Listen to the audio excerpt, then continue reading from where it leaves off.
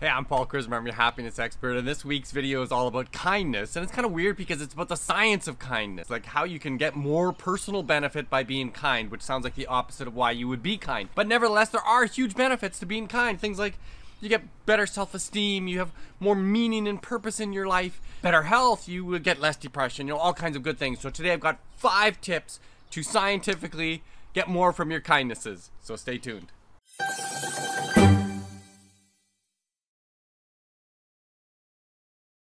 As a coach, public speaker, and best-selling author, I teach topics just like this one all around the world. So stay tuned and I'll give you practical tools that you can use to make both yourself and those around you both happier and more successful. Okay, so we know from the science, really lots of good science, that kindness is good for us. It's not just good for the people we're kind to, it's good for ourselves. So this week I'm to give you a little talk on how to get more from your kindnesses. And you know, one of the things that the science really clearly shows you in tip one of five is that spontaneity is important. And I had a really good personal lesson in this a number of years ago when I first read this research. And I, I had automated payments to certain big, well-known global charities that came out of my credit card every single month. And frankly, I got zero satisfaction. I felt morally I was doing the right thing, but all I'd ever even think about it is when I'd review my credit card statement once a month, and otherwise I the, the charitable organizations were out of sight, out of mind. But when I read this research, I said, okay, I'm going to cancel my charitable donations that are going out every month and instead spend that same money spontaneously. And immediately, as I started looking in my day to day life for opportunities to spend that money, not only was there plenty of obviously good causes, but I felt so much better that as I saw some need, I met the need right then and there.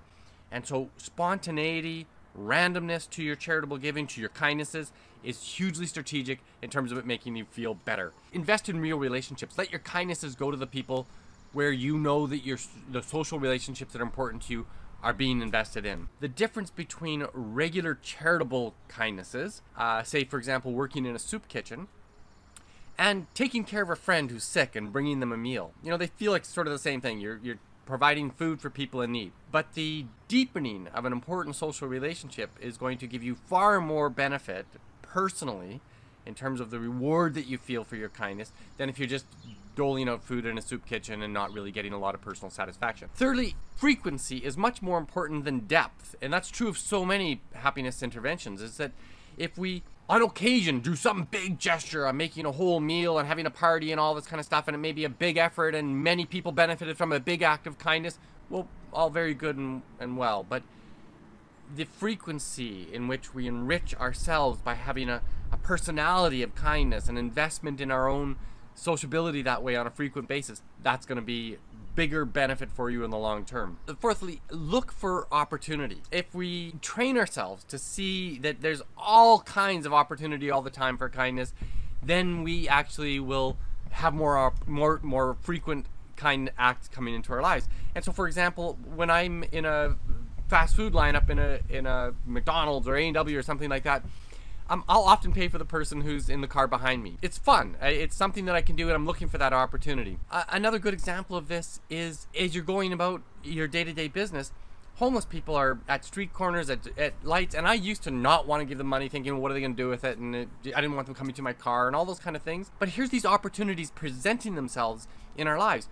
And even here, when I don't have a strict budgeted amount that I have go off my credit card every month, then when things come up in the news where some tragedy occurs somewhere in the world, I can spontaneously choose to give at that time. So if I'm looking for the opportunities, where can I behave altruistically, behave kindly? And one of the ways to continue to look for an opportunity is to be conscious of having a budget. If I'm driving up to somebody who's homeless on the street and coming up at the lights, if I think, oh, I've already spent my amount of money this month, then I may not give. But if I know that I have budgeted money that this is what its intention for is for me to use it up every month when opportunity presents itself, then obviously that's going to avail me more opportunities to be kind. And finally, I want you to think about investing locally in your neighborhood, in your community. And I hope that this doesn't take away from the moral argument for us to help people in other parts of the world. And I, I would continue to encourage people to do that.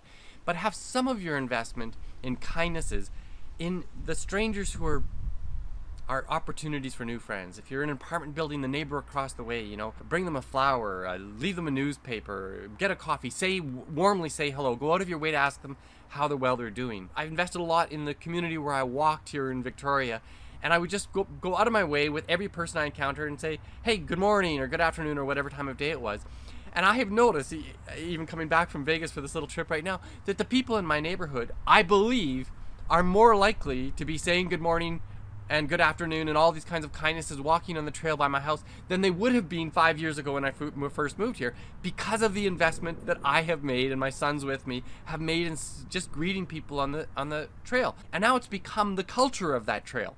And so it's funny how small things frequently done can change a culture all around us. There are five tips for you about how to be more kind, how to get more for your kindness so that it becomes localized, spontaneous, uh, readily available to you to be kind as and when you want to. And look, we're not quite out of the pandemic here in, in Canada, so I'm going to show you my t-shirt.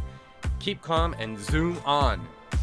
Hey, back in Vegas, we're opening up. It's exciting times, baby. If you like this kind of content, click the like button, share it with your friends and family, and more people in the world will get to be happy. And that's my mission. Thanks for watching. See you next time.